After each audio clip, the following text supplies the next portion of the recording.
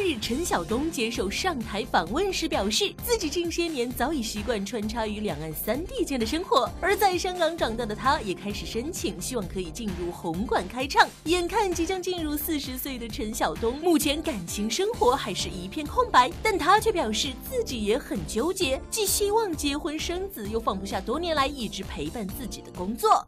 对于我来讲，我没有很急。但是如果我真的有一天要结婚的话，其实我的粉丝也会很支持。那么我也会特别喜欢小孩子，对。但是要看这个缘分。但呃，我也知道很多朋友很关心我这个问题，但是确实我自己很放松。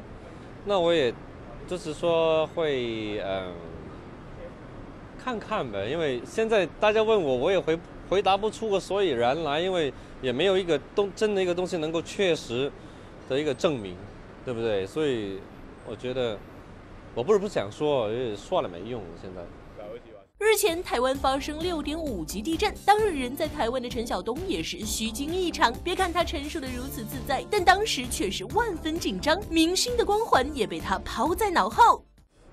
你一听到这种声音就有点害怕，不知道他，因为你在这种情况，你不知道他会摇到什么时候，或者摇到什么程度，什么时候停，不知道，全部不知道。然后看开始看到那个墙画开始拍，打那个墙壁，躲，马上躲。